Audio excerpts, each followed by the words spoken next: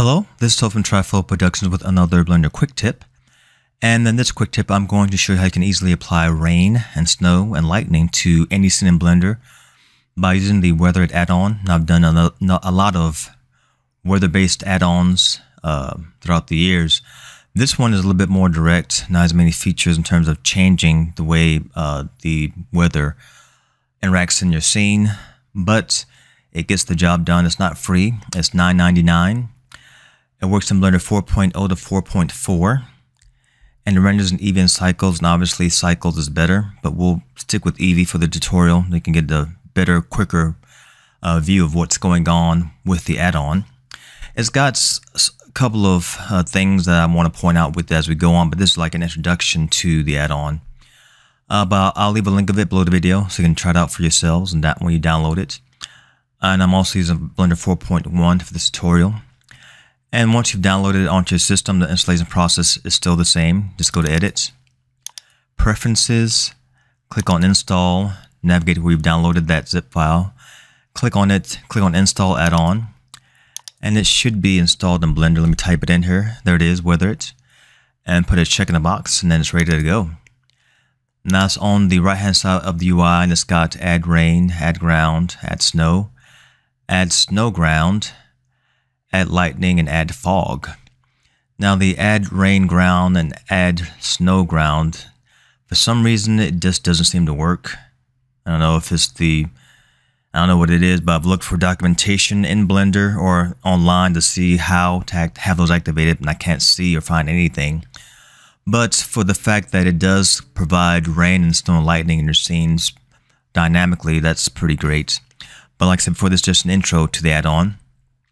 Uh, but we'll keep our scene kind of the same. Let's make it, it well, let's keep it the same.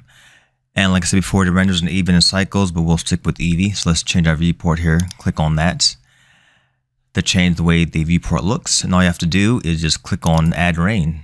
And there's your rain. Let's click on the rain particles and we press play on our keyboard. See the rain's falling, which is nice. Um, and the same thing with add snow.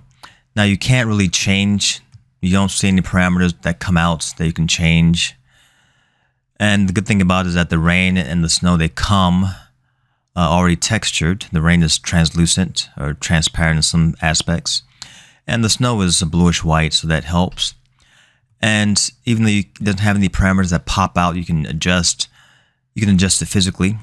Just select that rain like we just did and click on rotate gizmo. And then you can tilt the rain press play. not it falls at an angle. Now, as you can tell, there are no splashes on the cube. So it doesn't seem to interact with objects in Blender. But like I said before, this is just an intro to it. So it's not bad. Now let's check out the uh, let's check out the snow and the lightning and the fog. So I'm going to start a new scene again. And it's always good to start a new scene sometimes. That way Blender doesn't have issues and start to crash. We'll pop out the add-on once again. And let's do lightning. Change our viewport and click on add lightning. And then as we zoom or scroll over, the lightning's there and it's also textured, which is great. When you play, it's already animated. When you play on your uh, press play, the lightning flashes. These are just the lighting is, are just images on a PNG plane, so why it looks like this. It needs time to kind of render out. But once it renders out, you have your lightning. So you have lightning flashes automatically happening in your scene, which is cool. So this, the lightning part works great. I, I like the lightning part a lot. The next thing I want to do is check out the fog.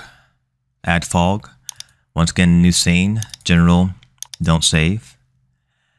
And let's go back to the add-on, Weather It change our render viewport there and click on add fog.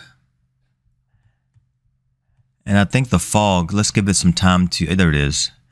And that's, this is, I think this is also animated. We press play. And it's not animated, but it's there. You can see the fog there. Once again, it does render out in cycles also. It might come out a little bit better looking in cycles. But for the fact that it's in uh, Eevee, it still looks great. So it, it's a good add-on. It supplies fog and lightning and snow. And with the snow, it's pretty much just tilting it like we did with the uh, the rain. Click on add snow. See our snow there. And it comes down already animated also. Just flutters down like that, which is good. Once again, you can just physically change it, have it selected like this. Click on that snow again. Have them try so let's let me change our viewport here. Whoa.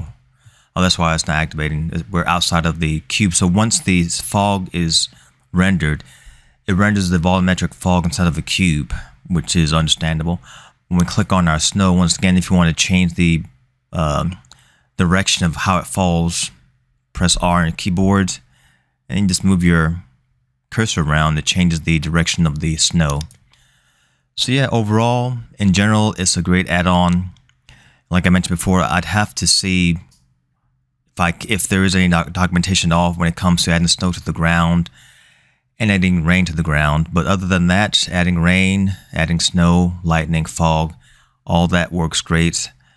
And it's ready out of the box, no issues at all with with it in terms of the of the movement of the rain and of the snow, uh, lightning, and the fog. It all works great. So if you want to have a scene where you're not really pointing anything towards the ground, you just want a scene where you're just looking straight into a city or a landscape and the rain's coming down, the snow's coming down, this works great. Yeah, so guys, you guys can try it out. This is today's Blender quick tip. The weather add-on, great add-on.